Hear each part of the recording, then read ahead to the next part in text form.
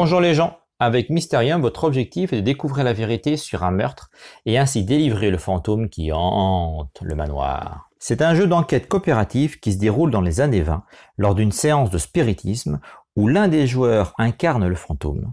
Les autres incarnent des médiums qui doivent l'aider à préciser les circonstances de sa mort afin de restreindre la liste des personnes présentes lors du meurtre. Ils ont 7 heures pour y parvenir, sinon la partie sera perdue pour tout le monde et le fantôme continuera à errer dans le manoir jusqu'à une prochaine séance de spiritisme. Malheureusement, le fantôme ne peut pas parler directement aux médiums, il communique avec eux à l'aide de visions individuelles. Un joueur ayant déjà joué ou lu la règle incarnera le fantôme. Si vous avez regardé la vidéo du rangement, vous allez gagner du temps pour la mise en place du matériel. Je vous propose d'asseoir le fantôme en bout de table comme pour un jeu de rôle.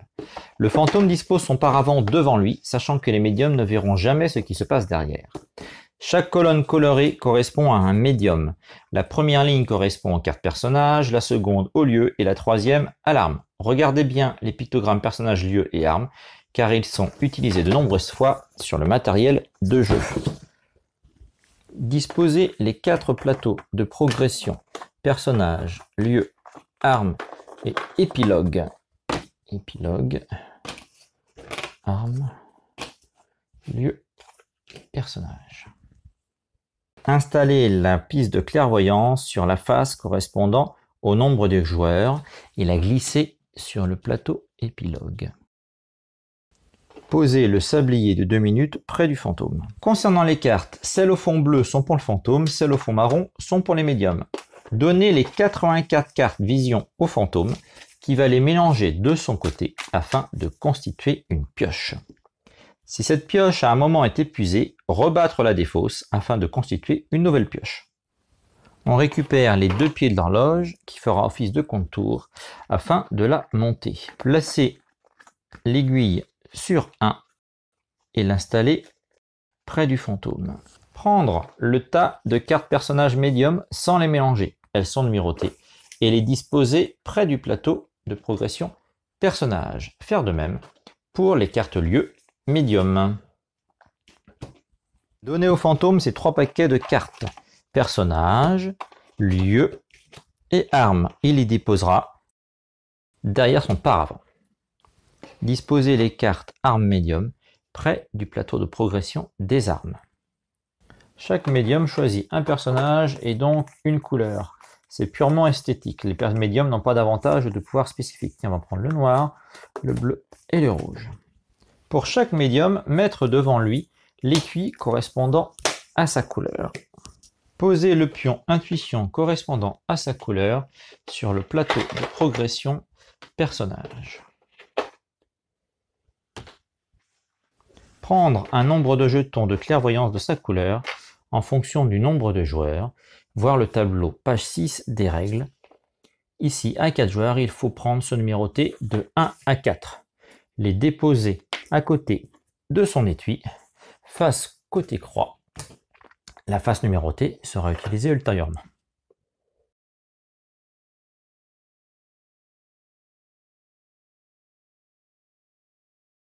Continuez en mettant son marqueur de clairvoyance sur la bord des pistes de clairvoyance au niveau 0.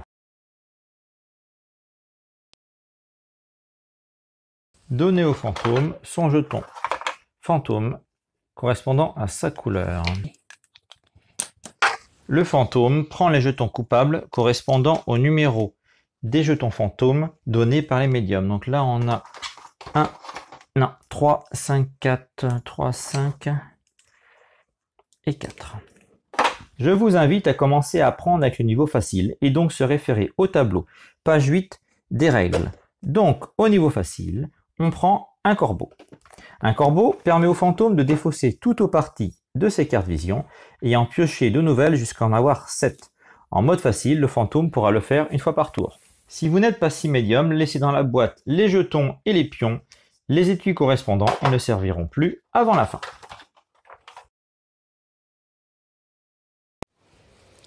Sur une partie à 4 joueurs, un fantôme et 3 médiums au niveau facile, cela fait 5 cartes médiums personnages, lieux et armes.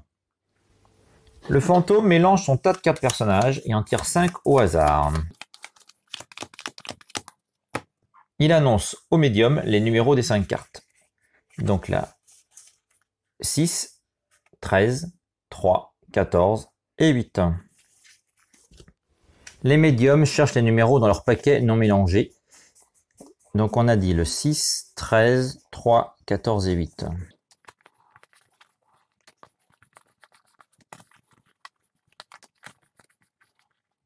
Les cartes restantes peuvent être rangées et ne serviront plus pendant la partie. On dispose les 5 personnages entre les plateaux de progression. Pendant ce temps, le fantôme affecte au hasard un des 5 personnages tirés à chaque joueur en commençant à remplir dans son paravent la ligne personnage correspondant aux couleurs de chaque joueur. Les deux cartes restantes peuvent être mises dans le paquet qui sera mis de côté. Il ne servira plus pour le reste de la partie. Faire de même pour les 5 cartes lieux et les 5 cartes armes. À l'issue de ce tirage, les médiums ont donc devant eux 5 cartes personnages, 5 lieux et 5 armes, alors que le fantôme, lui, n'envoie plus que 3 séries de chaque derrière son paravent. Le paravent du fantôme doit donc accueillir dans chaque colonne colorée correspondant à un médium, du haut en bas, une carte personnage, puis un lieu et pour terminer, une arme. Cela indique la combinaison personnage-lieu-arme que devra découvrir le médium de cette couleur. Le jeu se déroule en deux phases. La reconstitution des événements, en sept tours correspondant aux 7 heures de l'horloge. Les médiums doivent aider le fantôme à préciser ses souvenirs par rapport au suspect. La révélation du coupable. Grâce au médium, le fantôme se souviendra de son meurtrier et les médiums devront le retrouver parmi les suspects. La reconstitution des événements se décompose en deux étapes. Interprétation des visions par les médiums et manifestation du fantôme. Chaque médium devra trouver trois éléments, personnages, lieux et armes. Lors du premier tour de jeu, tous les pions intuition des médiums se trouvent sur le plateau de progression personnage. Le fantôme va essayer de faire deviner à chaque médium le personnage associé à sa couleur, d'après la colonne correspondante de son parapluie. Le fantôme pioche cette carte vision. Et en fonction de ces cartes, il choisit un médium auquel il va donner une ou plusieurs, mais faces visibles, autant qu'il veut dans la limite de cette carte qui constitue sa main. Ces cartes vision devront aiguiller le médium le mot possible afin qu'il découvre le personnage. Au médium de correctement interpréter ses visions. Il peut en discuter avec les autres médiums. Pour rappel, le fantôme ne doit pas faire de gestes ou donner d'indications médium autres que les cartes vision. on va dire que ça, ça peut être appelé l'arme du chasseur, le fusil. Et puis celle-là, euh, c'est la mort. Donc euh, on va dire qu'on va donner ça au joueur noir. Le fantôme complète ensuite sa main afin d'avoir cette cartes vision, puis répète l'opération pour chacun des médiums, jusqu'à ce que chacun ait reçu au moins une carte vision. Le cuisinier, on pourrait dire qu'il travaille dans une, auberge et puis qu'il ne veut pas euh, de rats dans sa cuisine, donc on va donner ça au joueur rouge. Bien sûr, tout ce que je viens de dire, le fantôme le pense, mais ne dit rien. Je complète à nouveau pour avoir de mes cette carte. là, il me reste la maîtresse d'école. Là, la rigueur, j'ai peut-être ça pour l'histoire, mais j'ai peur que ça soit un peu léger pour une maîtresse d'école. Donc, ce que c'est, je vais utiliser un corbeau. Pour rappel, hein, quand aucune de mes cartes vision n'inspire, je peux utiliser un corbeau pour refaire partiellement ou totalement ma main. Donc là, j'en pioche 6 parce que j'en ai écarté 6.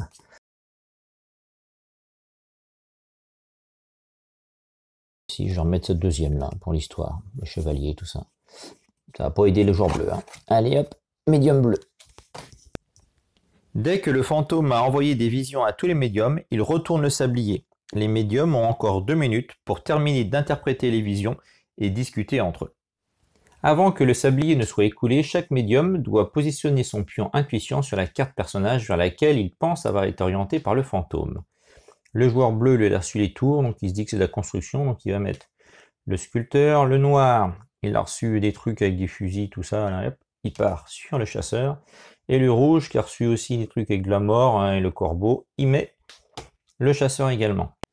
Il est tout à fait possible que deux médiums se positionnent sur la même carte. Chacun ayant une carte différente à trouver, il y aura au moins un des médiums qui se trompe. Tant que le sablier n'est pas écoulé, chaque médium peut confirmer ou infirmer les intuitions de ses collègues en utilisant les jetons de clairvoyance.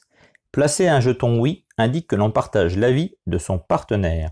Le côté non indique que l'on est en désaccord avec lui. Cela peut être fait dès qu'un joueur pose son pion intuition sur une carte, il n'est pas nécessaire d'attendre que le sablier soit retourné. Un médium qui utilise à bon escient ses jetons de clairvoyance avancera davantage sur la piste de clairvoyance. Plus il sera avancé, plus il sera aidé lors de la dernière phase. Voici les règles pour les jetons de clairvoyance. On ne peut associer qu'un pion de clairvoyance par pion intuition. Ça, c'est interdit. On ne peut pas voter sur son propre pion intuition. Ça non plus. Un joueur peut utiliser autant de pions de clairvoyance qu'il veut par tour. Il peut très bien aussi n'en utiliser aucun. S'il y a plusieurs pions intuition sur la même carte, donc là dans cet exemple-là, bien orienter la pointe du jeton de clairvoyance vers le pion intuition afin qu'il n'y ait pas d'équivoque. Donc là, la pointe est bien orientée vers le rouge, donc c'est-à-dire je suis d'accord avec le rouge et le bleu n'est pas d'accord avec le noir. L'intégralité des jetons utilisés seront récupérés au début du quatrième tour, comme l'indique l'horloge. Tant que les sabliers n'est pas écoulé, il est possible pour chaque joueur de déplacer son pion intuition et ses pions de clairvoyance. Il n'y a aucun intérêt de conserver ces pions de clairvoyance à la fin de la partie. Il est à noter que les pions joués seront défaussés à la fin du tour, donc choisissez bien.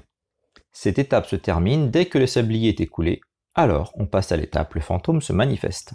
Le fantôme choisit librement l'ordre des révélations et indique à chaque médium si son intuition est correcte ou pas. L'intuition était bonne. Les médiums qui ont joué un jeton de clairvoyance oui avancent d'un point sur la piste de clairvoyance. Mettre les jetons à la défausse sur l'horloge pour le oui et le non, qui lui n'avance pas. Le médium avance son pion intuition sur le plateau de progression suivant. Il ramasse sa carte médium dans son étui.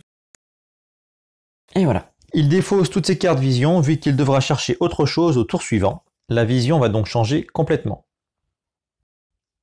L'intuition était mauvaise. Les médiums qui ont joué un jeton de clairvoyance non avancent d'un point sur la piste de clairvoyance. On défausse les jetons sur l'horloge. Le médium conserve ses cartes vision devant lui, celles qu'il aura le prochain tour viendront enrichir la vision globale jusqu'à ce qu'il trouve la bonne carte médium. Le médium remet son pion intuition sur la piste de progression d'où il vient. Répétez cette phase pour chaque médium. Chaque médium va progresser de manière séparée et à son rythme dans son enquête et va déplacer son pion intuition d'un plateau vers l'autre. Les pions intuition des médiums peuvent se trouver sur des plateaux de progression différents. Chaque médium va commencer son enquête par trouver le personnage, continuer par le lieu et terminer par l'arme. Avant de reprendre un nouveau tour, en mode facile, le fantôme vérifie s'il a utilisé un corbeau. Dans ce cas, il l'enlève de son paravent, vu qu'il a le droit de l'utiliser une fois par tour. On continue par vérifier qu'un joueur n'a pas terminé cette phase en ayant trouvé ses trois cartes médium, c'est-à-dire personnage, lieu et arme. Dans ce cas, passez directement à l'étape un médium a trouvé ses trois cartes médium. Avancez l'heure sur l'horloge. Si l'aiguille était déjà sur la septième heure, la partie est perdue pour tout le monde. Si un médium a avancé de plateau de progression, par exemple ici, le joueur noir est rendu sur le plateau de progression lieu, le fantôme devra donc ne plus lui faire deviner son personnage, mais le lieu correspondant à sa couleur. Je vous propose de faire pause sur la vidéo. De votre côté, continuez la partie en reprenant à l'étape interprétation des visions. Et revenez voir la suite dès qu'un joueur aura trouvé ses trois cartes médium.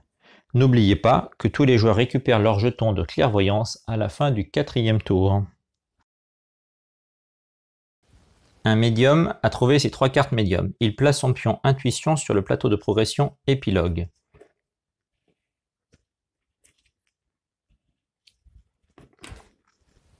On n'oublie pas de ramasser l'arme dans la pochette.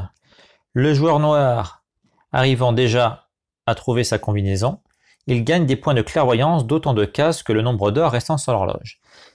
Exemple ici, il découvre sa combinaison à la quatrième heure, il avance donc ce marqueur de trois cases sur la piste de clairvoyance. Il continue à jouer en aidant les autres médiums à interpréter leur vision et peut continuer à voter avec ses jetons de clairvoyance. Tant que les médiums n'ont pas trouvé leurs trois cartes, avancez l'horloge d'une heure, hop, et reprendre à l'étape interprétation des visions pour les médiums restants. Je vous propose de faire pause sur la vidéo. De votre côté, terminez cette phase et revenez voir la suite dès que tous les médiums ont tous leur combinaison. Le temps est suspendu. Maintenant que les suspects ont clairement été identifiés, le fantôme se souvient des circonstances exactes de sa mort. Cette phase se déroule en trois étapes. Confrontation des suspects, vision commune et référendum. Il faut ranger les cartes médium qui peuvent rester sur la stable, enlever l'horloge et les plateaux.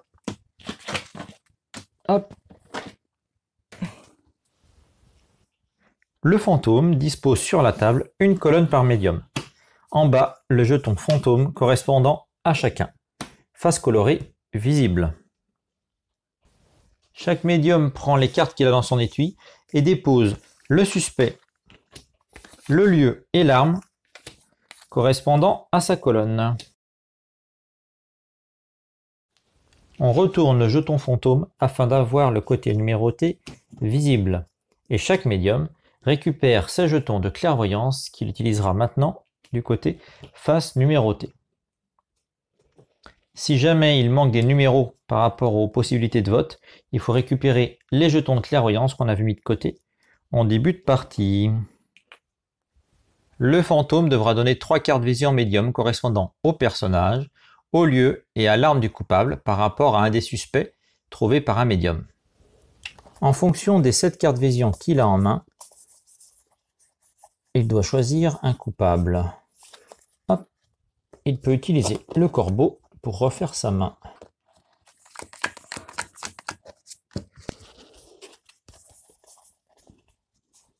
Avec ça, il essaye de choisir un coupable. Donc, il prend le jeton coupable correspondant au numéro qu'il a choisi, face cachée, et le dépose sur le plateau de progression épilogue. Il prend les trois cartes vision. Rappel, une doit indiquer le personnage, l'autre le lieu et la dernière l'arme. Alors, on va prendre lui parce que ça nous rappelle Ratatouille avec euh, du fromage, le cuisinier. Le lieu, c'est un peu dans la nuit, le grenier, donc on va mettre l'espèce de loup-garou là. Puis le coupe-chou, on va dire que dans un cirque, les, des fois les, clowns ils, rasent avec de la bombe à raser là. Donc, euh, mais bon, ça va pas être facile pour, le, pour le rasoir. Bien sûr, tout ça, le fantôme, il le fait dans sa tête le fantôme mélange les trois cartes et les pose face cachée au centre de la table.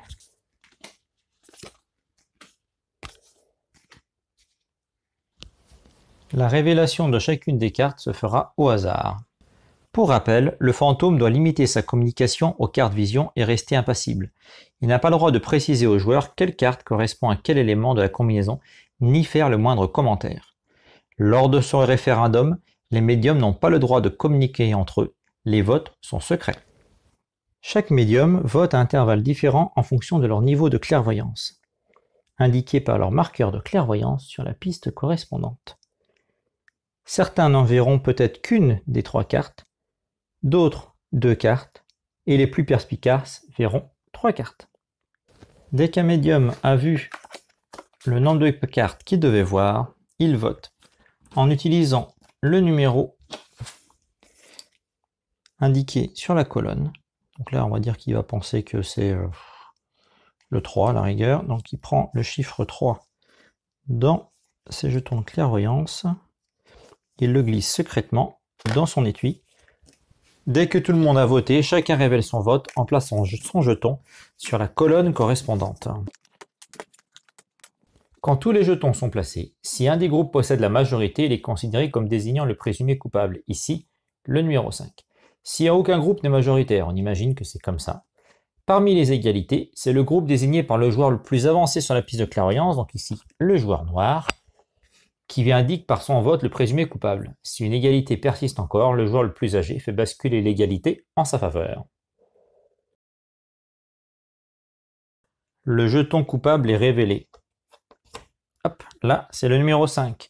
Si le groupe désigné par les médiums, donc c'était bien le numéro 5, contient le véritable coupable, alors l'ensemble des joueurs remporte la partie car l'esprit du fantôme est libéré. Dans le cas contraire, c'est un échec. Il faudra attendre la prochaine séance de spiritisme pour tenter de résoudre ce mystère. Avec quelques ajustements, vous pourrez jouer à 2 ou trois joueurs. Concernant le matériel, enlevez la piste de clairvoyance, les marqueurs associés, ainsi que les jetons de clairvoyance.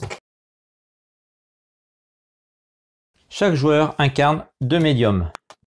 Lors de la vision commune, les trois cartes vision sont placées directement face visible. Pour la confrontation des suspects à deux joueurs, afin que le fantôme n'ait pas uniquement le choix entre deux suspects, ajoutez aléatoirement deux groupes de cartes supplémentaires. Un troisième et quatrième groupe sont donc ainsi constitués. Pour le référendum à deux joueurs, c'est-à-dire un fantôme et un médium, le médium indique avec son pion intuition quel groupe est coupable selon lui. À trois joueurs, les deux médiums se mettent d'accord, le vote n'est donc plus secret, pour désigner le groupe de cartes correspondant au présumé coupable en y plaçant leurs deux jetons intuition. Voilà, c'était la vidéo de Mysterium, maintenant vous êtes prêts à jouer